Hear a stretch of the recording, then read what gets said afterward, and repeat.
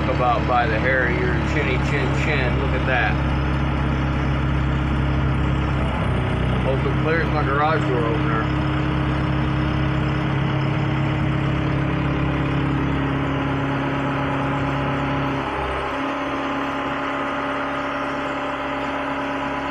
Probably have to drop it down some more. There's the next obstacle. I don't want to hit my garage door opener. So I've chained to the front of this and I'm gonna pull down because there's no weight in the front and we're lifting on that great big boom so it's lifting the front end up. So I've got a chainer on the front, I'm gonna put down pressure on the Gradall. And hopefully that'll be enough to, to do it.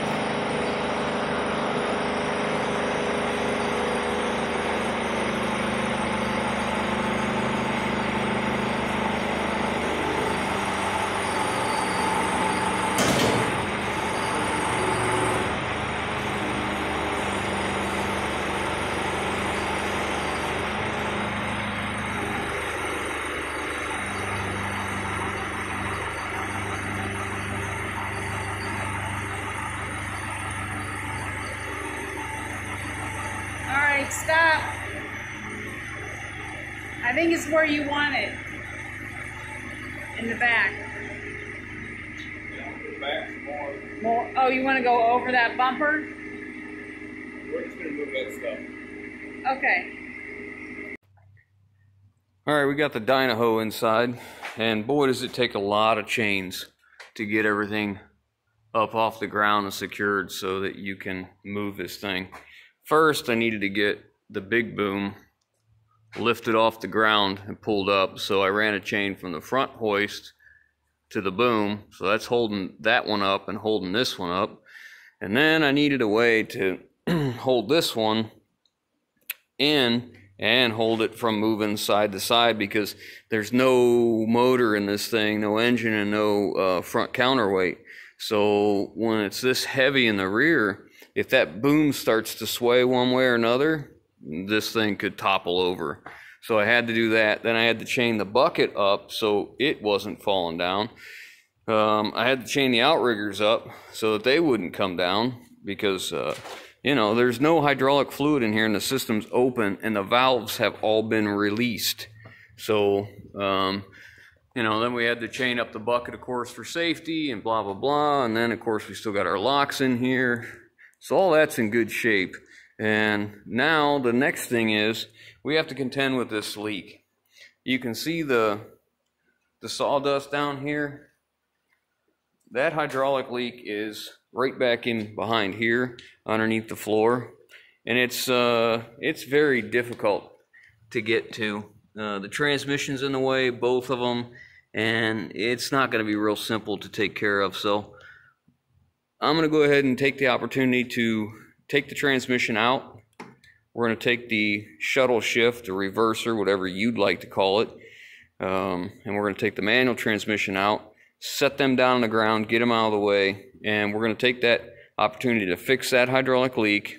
We're going to look at that valve and make sure there's no other leaks on the valve, like you know seals for the the piston, a rod that moves back and forth, and you know get a good look at everything that's in there and under there, so that if it needs repaired while the transmission's out, that's the time to do it because I don't know if you can tell or not. There's me zoom in here and get you a light. Bottom of that valve's got a wet spot right there. So, you know, it'd be in my best interest to do all this stuff right now while we can. The steering cylinder has begin, begun to leak since the temperature has changed. So we're also going to get all this frame cleaned up as best we can. And we're going to start taking off all the old cruddy crap like these horrible fuel lines that just broke in our hands. Anything else around here that we're less than happy with, we're going to yank off of there and get, get, it, uh, get it figured out what we need get it made, and hopefully get this thing going back together. This is going to be a long project, a very, very long project, because we have a lot going on. Because even after we redo all this, you saw me take the cluster out of that bus, and one of the reasons is there's not a gauge in here I can get to work. So, and I'm I don't think I'm an electrical genius, but I think I've got enough knowledge to take these basic old gauges and make them work, and they're not working. So um, we're to go ahead and redo all this, and we got a lot to do. We're to pull, we don't have any brakes, so being we'll have the transmissions out, the master cylinders are underneath there, underneath this plate. So we're just to keep going with this thing front to back, and in the midst of of getting uh, parts, we're going to be uh, moving it to the other bay here uh, once we get that bay freed up. So that's where we're at on it. But you know, it was it was all kinds of exciting getting it in here. That's for sure. But now we can get moving on it. So next thing is I'm gonna get going on this transmission and get it out of here. All right, so we have yet another hydraulic leak over here, and we need to replace or rebuild these master cylinders. There's one for the left and one for the right. Right now I'm pulling the drive shaft out. It's just a little bitty thing, as you can see. And uh, I'm to be using a Tiger Tool yoke press to get this out. Um, because I got to see if we can do something different with this yoke, and I'll explain about that later. But uh, yeah, more more hydraulic leaks. This will be more like a resurrection than it is a uh, a repair. All right, we got the transmission out. It was really pretty simple. There was one linkage right here that controls the forward and the back. It just slides in or slides out. Actually, you go whichever way, but you have forward, neutral, and reverse. You put it in neutral, and you take this manual transmission and go first, second, or third. So there's three speeds there I don't know if you can see that on there anymore.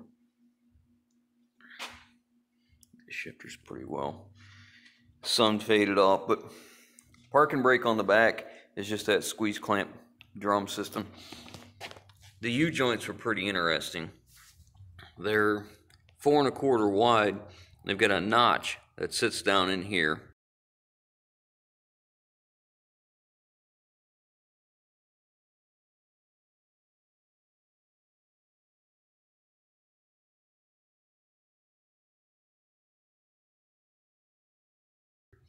So that was pretty interesting. Um, but it's out, and of course, you know, we plugged it as we took it out, but it still fell over and made a mess. But now we can get on to that hydraulic leak. It'd be interesting to know what transmission this is and what shuttle shift that is. Uh, I don't know if there's any tags on it. It's so dirty. Maybe we can find one later. So there's the fluid that came out of that transmission. That's the filter that was in the in that base. I don't know how much longer it would have ran with fluid with that much water in it. Anyways, let's move on.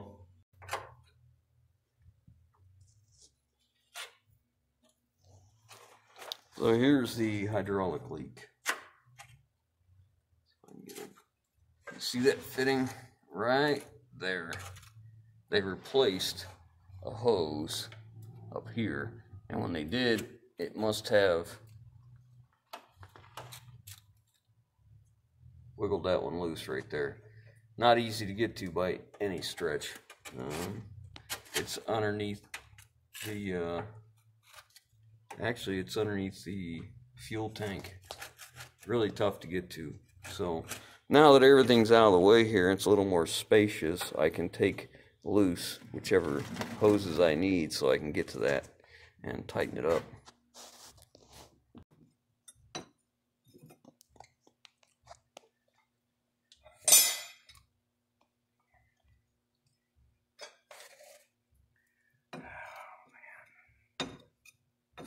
Gotta take this one off. Get it out of the way so I can get to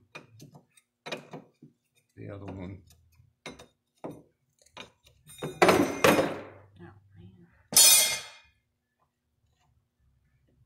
Usually I'll zip tie this.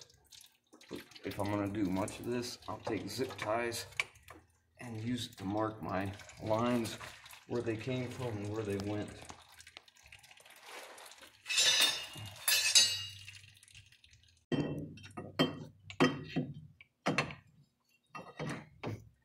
Yeah, I can almost get in there. I may have to drop the, take the valve loose, get it down here and tighten it. There's just no way to get a wrench in here. You can see how loose it is.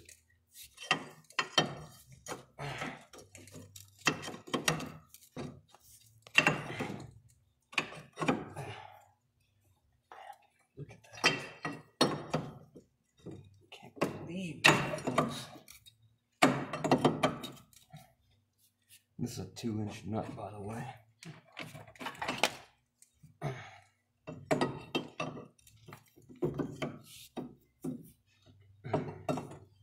Wow. Yeah, I just can't get in there any better. I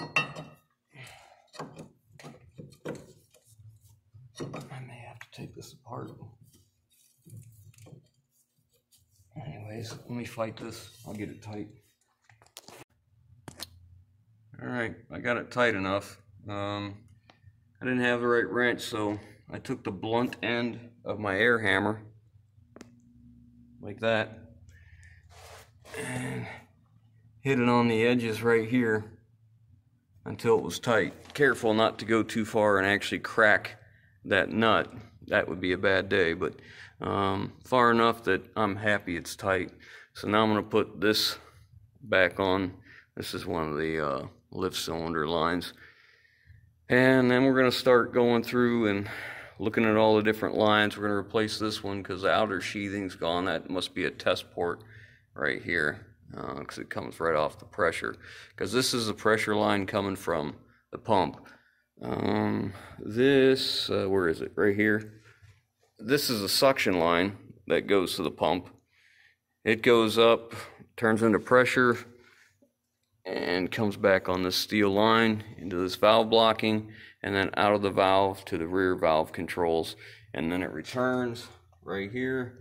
There is a hydraulic filter, which we'll probably be relocating and using a different type of filter instead of an insert. And it comes right back up into here. Um, this was part of the uh, cooler.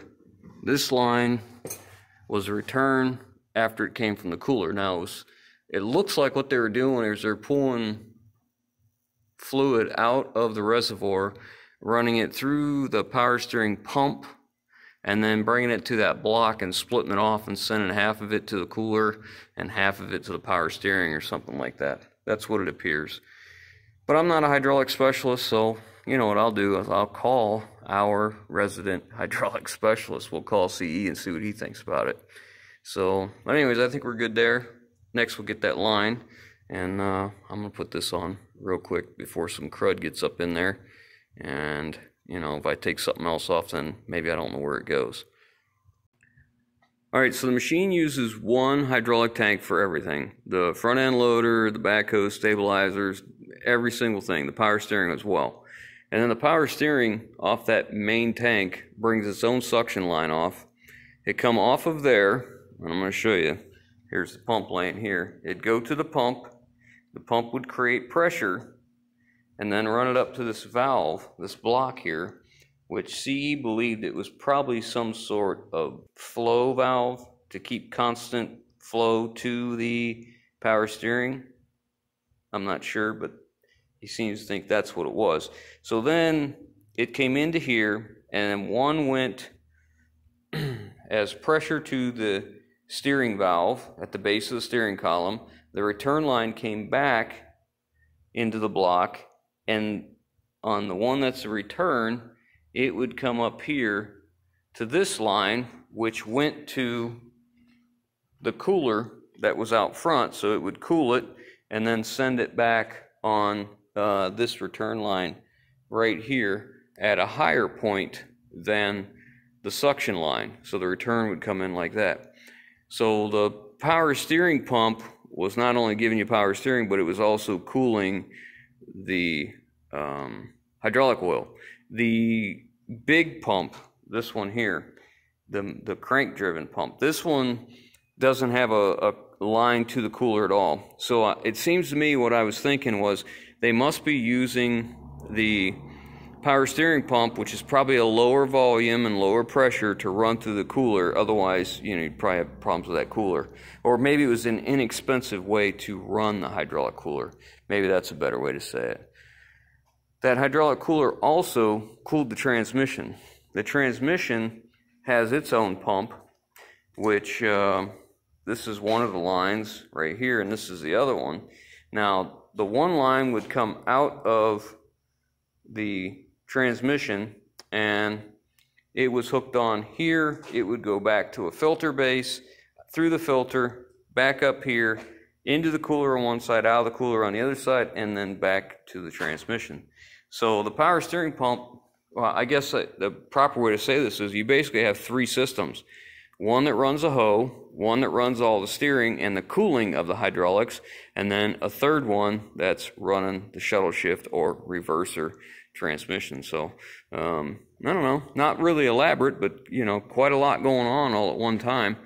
So I guess we've come to a point here where I need to kind of fill you guys in on where we're going. I pulled the transmission out to fix that line, and as I had been thinking about this, we got this hydraulic leak. I got all these things to do underneath here. You know what? We're gonna have the motor out. We're gonna have transmission out. I'm not putting that Detroit back in. You guys watch us pull this Cummins out.